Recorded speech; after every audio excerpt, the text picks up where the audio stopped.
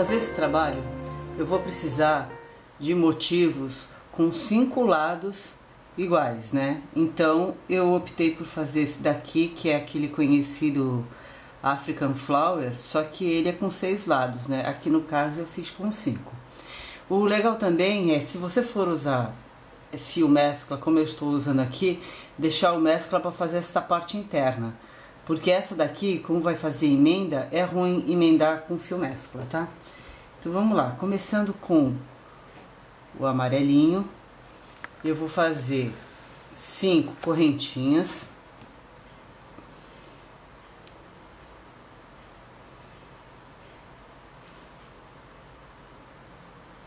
Um, dois, três, quatro, com o que foi cinco. E fecho. Subo com três correntinhas e vou fazer um ponto alto.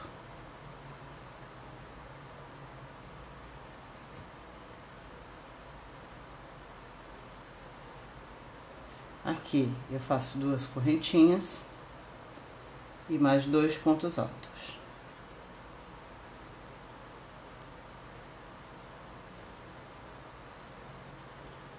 Duas correntinhas e mais dois pontos altos. Eu aproveito e vou prendendo junto a sobra do fiozinho, colocando ele assim. E quando eu crocheto já cobre ele. Um, dois, três. Tenho três motivos. Eu preciso de mais dois. São cinco. Quatro.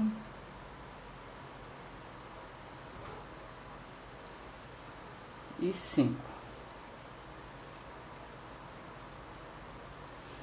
Ótimo. Aqui eu faço meio ponto.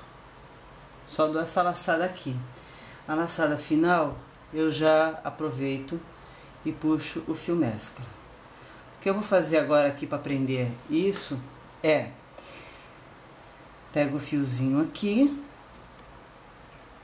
e dou um nozinho.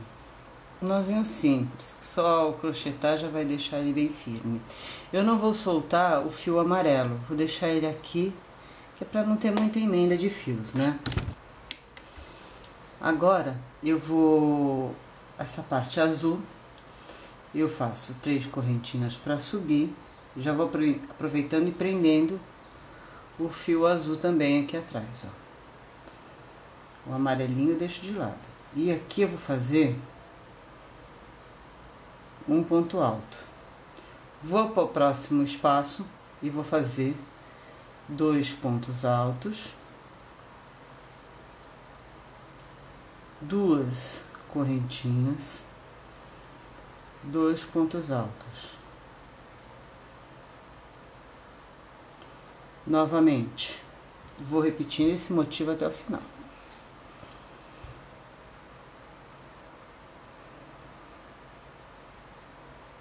Dois pontos altos, duas correntinhas, e dois pontos altos. Duas, dois pontos altos, duas correntinhas e dois pontos altos. Novamente.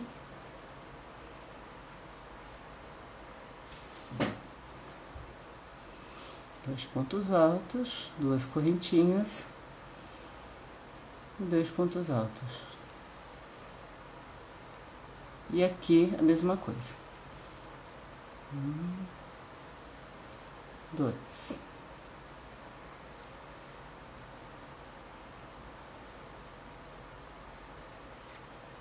Prontinho. Agora aqui faço três correntinhas para subir. Três pontos altos. E vou partir para o próximo motivo aqui. Aqui eu vou fazer sete pontos altos. Um, dois, três, quatro, cinco, seis. seis e sete. E vou repetindo em todos os espaços, olha. Ele vai ficando assim, meio abalauado mesmo, tá? O que é ideal pra gente fazer a nossa bola.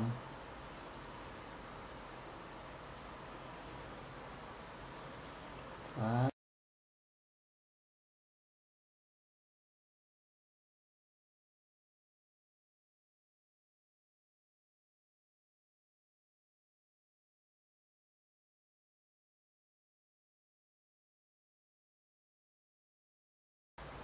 Esse finalzinho aqui eu faço três pontos com os três que eu tenho e as três correntinhas que subiram são sete.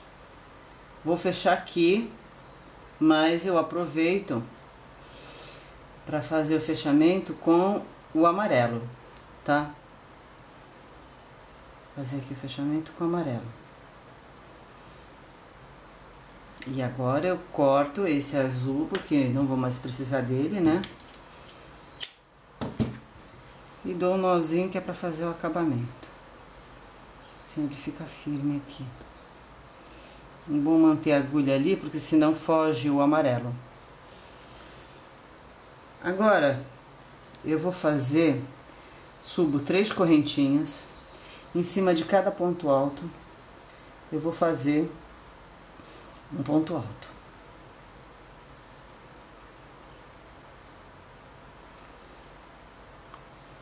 Nessa parte aqui agora, eu vou fazer um ponto alto, laçando ele aqui, nesse primeiro espaço aqui, tá? Que assim vai formar o nosso desenho de flor. Ó. E aí, vou continuar aqui fazendo ponto alto sobre ponto alto. Três seguidos. No quarto, eu vou fazer dois pontos altos juntos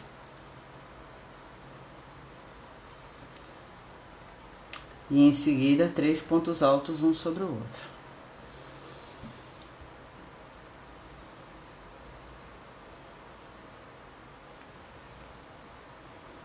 Agora, novamente, dou a laçada aqui embaixo e puxo um ponto alto.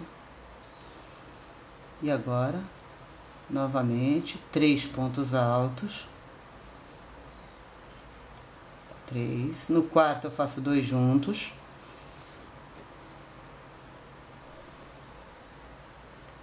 Agora mais três pontos altos.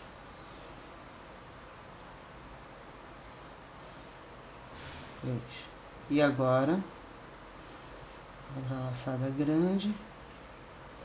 E assim eu vou seguindo até o final.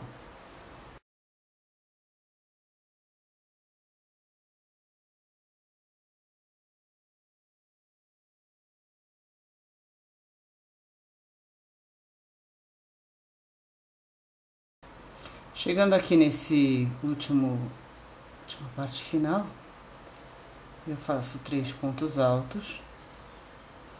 E aonde eu iniciei com as correntinhas, eu encaixo a minha agulha. É um pouco difícil porque a gente tem um nó do outro lado, né? Mas dá pra fazer. E puxo um ponto alto. Que aí vai ser aqueles dois centrais juntos, né? Aqui eu fecho com ponto baixíssimo. Deixo um fio um pouco compridinho e puxo, porque esse fio vai ajudar na emenda nos motivos, tá? Aqui.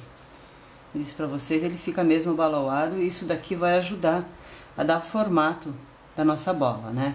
Agora eu vou mostrar pra vocês como é que eu faço a emenda desses motivos. Aqui eu vou começar a emendar os gomos. E o que eu preciso fazer é emendá-los dessa seguinte maneira aqui, olha. Em cada lateral, eu preciso ter um motivo, assim. Eu vou emendar aqui a volta toda e essa parte também, tá? Assim. Dessa forma. E aqui. Eu preciso, vou precisar de dois... É dois motivos dessa forma aqui, ó. Tá? De dois conjuntos desse. Um motivo no centro e um em cada lateral. Vou unir a volta toda aqui e depois esses aqui assim, vai dando um aspecto de bola. Vou mostrar pra vocês como é que eu vou fazer pra unir esse motivo aqui. Vou tirar esses aqui pra não dar uma confusão visual, tá?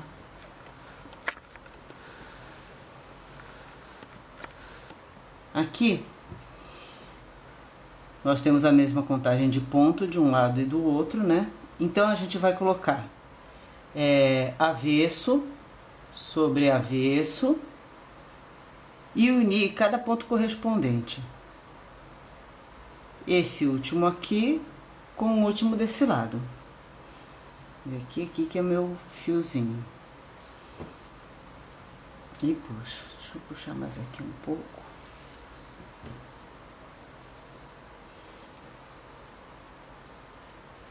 Puxo aqui. Agora aqui eu vou passar nesse segundo aqui e o segundo correspondente do lado de cá. É sempre bom ir observando se está prendendo o mesmo ponto do lado de lá, que é para dar certinho no final, olha.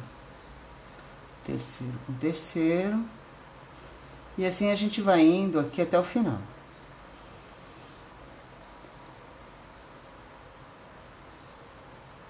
Novamente aqui, ó. Tá?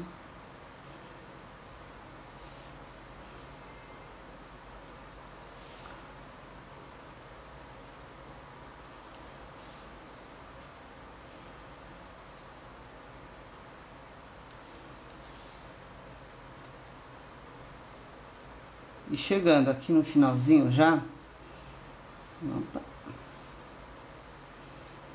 eu tenho esses dois pontos, que é os dois pontos altos, e os dois pontos altos juntos, ó, tá igualzinho, tá?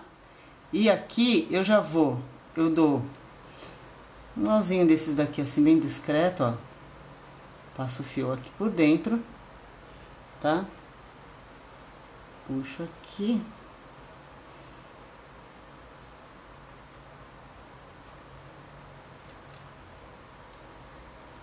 Prontinho, ficar bem direitinho.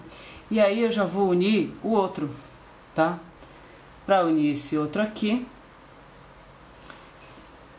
abro aqui e encaixo esse daqui, ó. Esse daqui, porque aí já vai contornando aqui a volta toda, tá bom? E aí eu vou unir o segundo ponto, olha que eu parei no primeiro, né? Então, vou unir o segundo daqui com o segundo daqui, tá? Aqui é bom também dar um nozinho, que é para firmar aqui. Pronto. E aqui agora então eu vou seguindo como eu fiz no gominho anterior.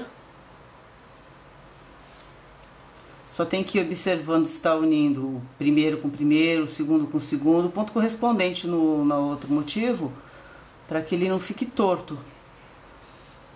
Não fica assim, motivo desencontrado, né? Eu vou fazer isso a volta toda. Eu vou precisar de dois módulos, como mostrei para vocês. E volto aqui pra gente unir os dois módulos e mostrar como é que vai como é que a gente vai fazer para fazer a montagem dessa nossa bola, tá bom? Aqui eu já tenho os dois módulos prontos. Parece até o casco de uma tartaruga, né? Esse e esse aqui tá? Esse monte de fio que vai sobrando quando a gente vai fazendo, vou colocar aqui para dentro e depois a gente elimina no final. Pode ser que a gente ainda vá precisar, né? Agora, o que eu vou fazer é unir essa parte com essa aqui, dessa forma aqui, olha. Lá unir direitinho, tá? Ó. Só ir vindo aqui e prendendo, né? Como a gente fez com, a, com as partes separadas, né? Aqui. Venho aqui, nessa parte aqui. E começo a prender como eu fiz com o outro.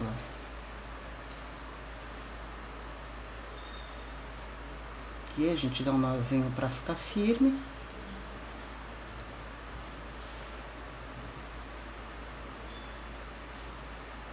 E é só ir prendendo assim a volta toda. Antes é, de fechar o círculo todo, né, eu vou deixar uma parte assim, ó, sem fazer, mais ou menos dessa espessura aqui, para sem fechar, que é para colocar o enchimento aqui, né? Então eu vou dar a volta toda e quando faltar esse tanto, eu volto aqui pra gente colocar o enchimento e fazer o fechamento final da nossa bola. Aqui eu já fechei toda a volta da minha bola, deixei um espaço, né? E eu vou preencher agora com essa manta aqui, é fibra acrílica siliconada. Ela é bem fofinha e quando a gente aperta é, e solta, ela volta ao mesmo lugar, né? Quanto mais a gente encher, mais bonita ela vai ficar, tá?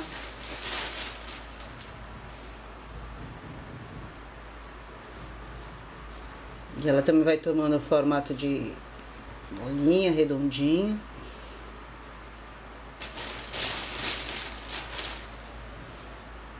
Aqui, já é o suficiente aqui. A gente vai modelando também conforme vai colocando. Prontinho. E agora é só fechar essa parte aqui. Última parte que falta.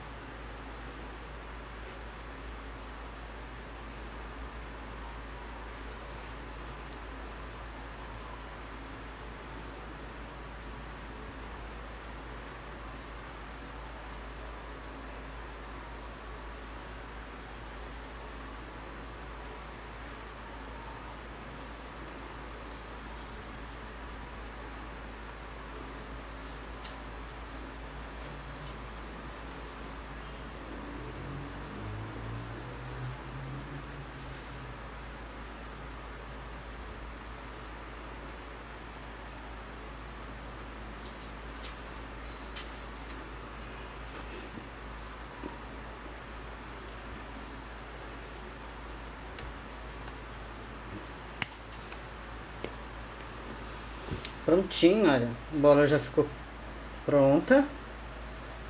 Redondinha. E é isso aí. Agora já dá pra qualquer criança brincar sem se machucar. Dá pra fazer em outras cores também, sempre com cor contrastante aqui, fica bem legal. E quando vocês fizerem é só tirar as fotos e mandar porque eu gosto de ver, tá bom?